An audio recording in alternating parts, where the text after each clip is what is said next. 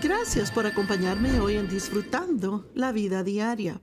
Y creo que algunas de las cosas que diré hoy le ayudarán a hacer justamente eso, disfrutar su vida mucho más. He escrito un nuevo libro titulado Cómo envejecer sin avejentarse. La edad es un número, pero envejecer es un modo de pensar. Ahora, hay muchas cosas que podemos hacer en lo natural que nos ayudan a no envejecer rápidamente y aún estar en buena forma aún mientras maduramos. Muchas de esas cosas se hallan en la palabra de Dios y son cosas que deberíamos hacer como quiera porque Dios nos dice que las hagamos. El estrés, el estrés excesivo a través de la vida, siempre hace que uno se envejezca y se sienta más viejo al llegar a una edad avanzada. Mire, podemos poner dos personas lado con lado que tengan 75 años y una puede verse de 60 y la otra de 95. Y mucho de eso tiene que ver con cómo vivieron la vida. Vivieron una vida de preocupación y ansiedad. Ellas pasaron demasiado tiempo en el sol sin ninguna clase de bloqueador o protección solar. Pasaron año tras año sin descansar lo suficiente, sin dormir. Estuvieron enojados toda la vida, aferrados a la falta de perdón por algo que pasó temprano en su vida sabe, tal vez tenga veintipico, treinta y pico, cuarenta y pico, o quizás cincuenta y pico de años y piense, bueno, esto no es para mí. Mire, la cosa es que si escucha ahora y aplica algunas de estas cosas que le sugiero ahora, entonces cuando llegue a ser mayor, no tendrá algunos de los problemas que sí tendrá si no oye. Y yo sé que muchas personas esperan hasta que es tarde y luego dicen, ay, ojalá hubiera hecho esto. Bueno, no le hace ningún bien estando aquí el desear haberlo hecho por allá. Pero podemos aprender al escuchar a otras personas. He aprendido muchas lecciones muy duras. Pues trabajaba y no descansaba lo suficiente y me empujaba a mí misma demasiado. Y mucho de eso pasó porque no sabía decir no, porque quería agradar a la gente, quería caerles bien. Y debemos también asegurarnos de que lo que estemos haciendo sea por la razón correcta, como dice la Biblia en Mateo 6. Si tú das y haces buenas cosas por las personas para ser visto de los hombres, perderás tu recompensa. O si oras en público para ser admirado por los hombres, perderás tu recompensa. Bueno, lo que hagas en secreto para el Señor con el motivo correcto, será recompensado en público. Y he aprendido que los motivos son muy, muy importantes. Y si estoy haciendo algo solo por evitar que alguien se enoje conmigo cuando sé mi interior de que es algo a lo que debería decirle no, entonces realmente es pecado porque no estoy obedeciendo a Dios. Si ve que está haciendo algo y se está quejando todo el tiempo mientras lo hace, o no quiere hacerlo, Probablemente sea algo a lo que debería haber dicho no, pero dijo sí. Y ahora no me malentienda, todos, todos tenemos cosas que necesitamos hacer, que tal vez no estemos locos por hacerlos, pero sabemos que hay que hacerlo. Es algo que hay que hacer por otra persona. Pero puede aún hacerlo sin tener mala actitud y sin aprensión, porque le puede pedir a Dios que le ayude con eso. La gracia es algo asombroso, la gracia es habilidad. Es la habilidad de hacer algo con facilidad. Cuando la gracia de Dios está sobre algo, eso no es estresante para usted. Eso no le agota. Hágalo con la gracia de Dios sobre ello y su gracia es como el aceite. De hecho, compartiré una escritura en un ratito que en la actualidad habla de eso. La gracia de Dios hace que todo funcione con fluidez, que marche bien, que funcione. Pero cuando las cosas no están funcionando y estamos empujando, empujando y tratando de hacer que pase algo y hacer que pase, mire, la mayoría del tiempo es porque estamos haciendo algo fuera de lo que Dios quiere que hagamos. Ahora no me malentienda, hay cosas que son duras y hay cosas que son desafiantes. Y hay momentos cuando debemos perseverar y aún resistir al enemigo.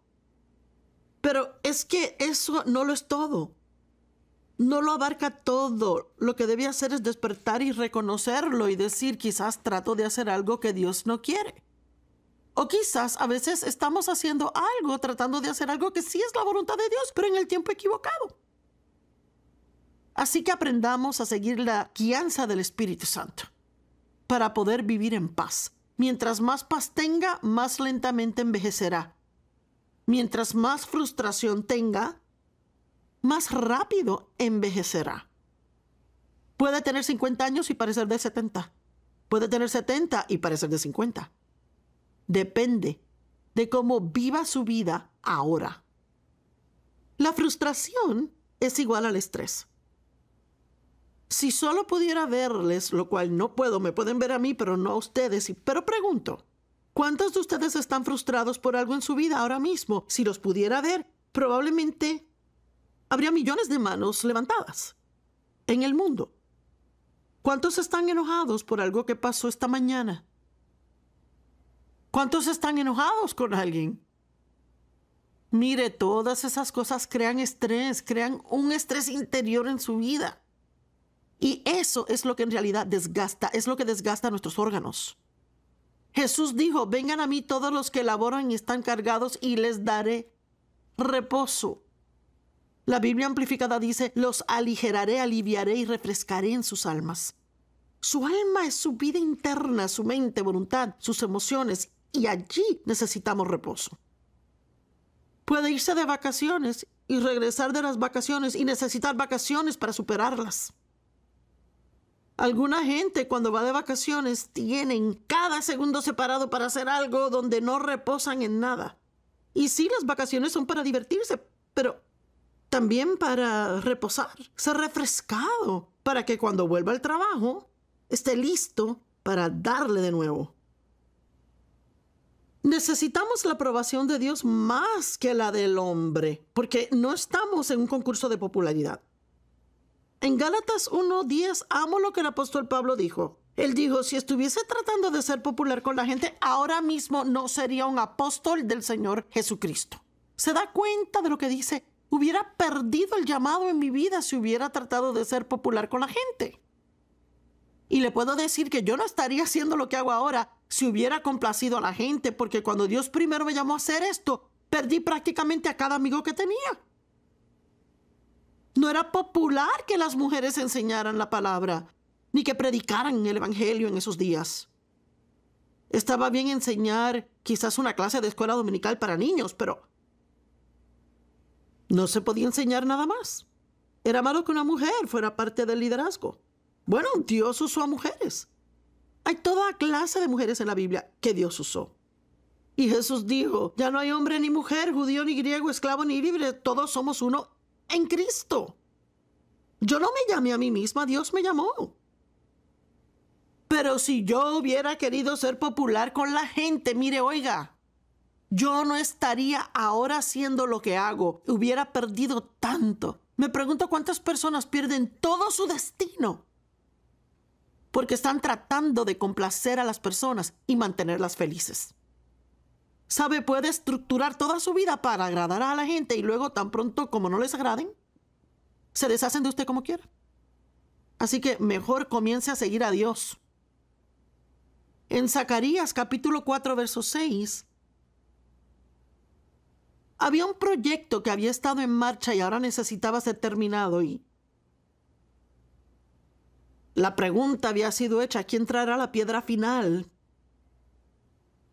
para este edificio.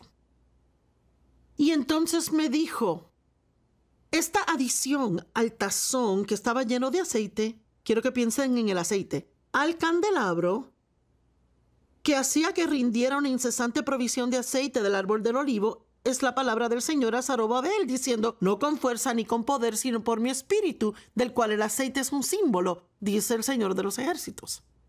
Así que somos el candelero y el Espíritu Santo es el aceite. Bueno, tenían lámparas de aceite, así que si no había aceite en ellas, no había luz. Pensemos de esto, digamos que soy una lámpara Y el Espíritu Santo es el cable de corriente a la lámpara. Bueno, yo no voy a dar ningún tipo de luz si no estoy conectado a la corriente. El Espíritu Santo es ese poder para que viva una vida que no está llena de estrés. ¿Captaron eso? El Espíritu Santo es ese poder para que usted no viva una vida que está llena de estrés, pero tiene que escucharle. Y dirá, yo no sé oír de Dios. Bueno, en realidad no es tan duro. Usted conoce la palabra y nunca le dirá algo que esté fuera de la palabra. Y sabemos que Dios quiere que vivamos en reposo y en paz. Así que no nos dará cosas a hacer que nos dejen agotados, estresados y exhaustos y llenos de temor, frustrados, enojados todo el tiempo.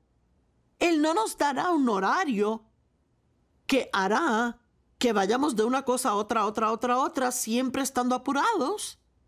Y si es así su horario, es porque usted lo hizo así. Y probablemente porque le ha dicho sí a demasiadas personas cuando debió decir no a algunos. Y de nuevo, queremos hacer a la gente feliz.